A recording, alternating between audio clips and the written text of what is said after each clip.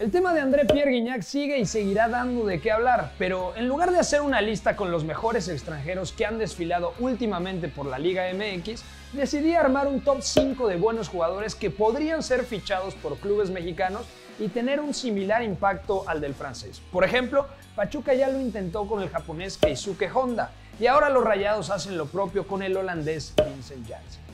Pero antes de repasar los nombres que les traigo, entendamos que lo de Guignac fue la mezcla de muchísimos factores. Primero, hay que recordar que llegó como agente libre, es decir, que Tigres no pagó absolutamente nada por su traspaso, no puso nada de lana. Además, fue un fichaje muy bizarro porque con 29 años André Pierre venía de ofrecer un temporadón en el Olympique Marsella de Marcelo Bielsa que terminó en cuarto lugar de la liga francesa. Y por si fuera poco, Guignac fue subcampeón de goleo con 21 anotaciones, solo por debajo de Alexander Lacazette, actual delantero del Arsenal, que en ese momento figuraba en el Olympique Lyon. Por último, hay que resaltar, como bien me lo comentó un buen amigo y aficionado recalcitrante de Tigres como Edu Torres, que el representante de Guignac también estuvo muy involucrado en las negociaciones. Bueno, Aquí les traigo 5 cracks que desde mi punto de vista podrían llegar con un precio razonable o como agentes libres a nuestra gloriosa Liga MX. Arrancamos.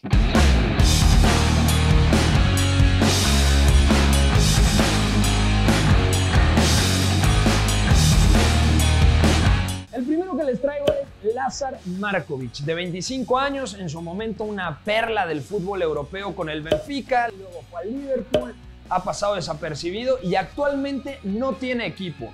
En una liga en donde condicionan tanto los futbolistas que parten desde la banda, los extremos como Pavón, Avilés, Javier Aquino, Ener Valencia, que muchas veces juega recargado, Luis Quiñones, Renato Ibarra, Ibargüen y compañía, la lista es interminable. Creo que Lázaro Markovic con 25 años y como agente libre podría ser una buena opción para algún club del fútbol mexicano. El segundo que les traigo es Benarfa, Hatem Benarfa, un jugador que aparte me gusta muchísimo. 32 años, viene de una espectacular temporada en el Rennes, marcó 7 goles la pasada temporada en Ligue 1, en la liga francesa, y actualmente no tiene equipo. 32 años y tiene un criterio tremendo. Pase, tiene regate, es bueno conduciendo. Yo creo que Benarfa con 32 años, si viene a la Liga MX, podría tener por lo menos 3, 4 años rindiendo a muy buen nivel. El tema es el salario, porque dicen que cobra mucho, pero yo creo que un equipo de jerarquía, como Pachuca, como León, jerarquía sobre todo a nivel económico, América, por supuesto, o los dos gigantes de Monterrey, podrían eh, pagar lo que, lo que necesita este media punta francés. Y hablando de franceses, hay un delantero muy interesante. El tema con Olivier Giroud es que termina contrato en 2020 con el Chelsea. Es decir, podría llegar prácticamente gratis. Y ya tiene cierta edad, cumplirá 33 años. Creo que es un delantero que podría dominar completamente la Liga MX, muy válido en el juego directo, campeón en, el, la Liga Francesa en 2012 en aquel grandísimo Montpellier.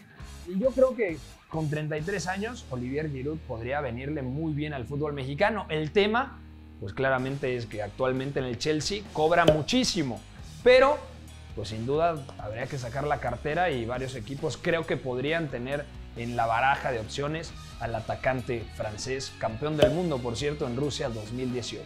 Y también otro francés que actualmente no tiene equipo, John Caballe se fue a la Liga de Emiratos Árabes Unidos después de un paso por el Crystal Palace. Antes había estado en el Newcastle, también llegó cedido en algún momento al Paris Saint-Germain y fue campeón de la Liga Francesa en 2011 en aquel equipazo que tenía a Hazard, a Gervinho, a Musa Sou, a Mabuba. Actualmente tiene 33 años y es un centrocampista que podría llegar y ser eh, el mejor medio centro o el mejor interior de posesión de la Liga MX. Y nos quedamos con un atacante muy interesante. Si hablábamos de Olivier Giroud, actualmente Fernando Llorente con 34 años no tiene equipo. Fue campeón de la Eurocopa en 2012, es un estupendo rematador, sobre todo para descargar el juego directo, para pelotazos muy largos. Sabemos que esta fórmula le viene muy bien al fútbol mexicano. Hemos visto a Boselli, a Rogelio Funes Mori, a Caraglio, a Julio César Furch. Entonces Fernando Llorente, que además viene de una buena temporada con el Tottenham, en donde al final terminó como subcampeón de la UEFA Champions League, creo que podría todavía rendir un par de años sin ningún problema en la Liga MX. Bueno, estos son los cinco nombres que yo les traigo. Lázaro Markovic, Hatem Benarfa, Joan Cabay, Olivier Giroud, Fernando Llorente. Y algunos me escribían y me comentaban, oye, Edinson Cavani podría ser una opción. Bueno, termina contrato en 2020 y ya tendría en ese momento 33 años actualmente lo que gana en el Paris Saint-Germain lo hace muy, muy, muy, muy difícil para un equipo de la Liga MX.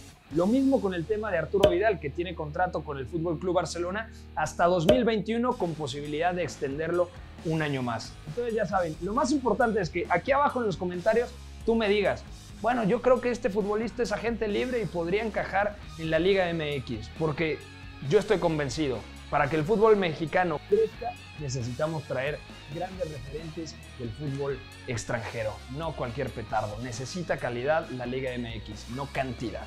Soy Pepe del Bosque, nos vemos para la próxima.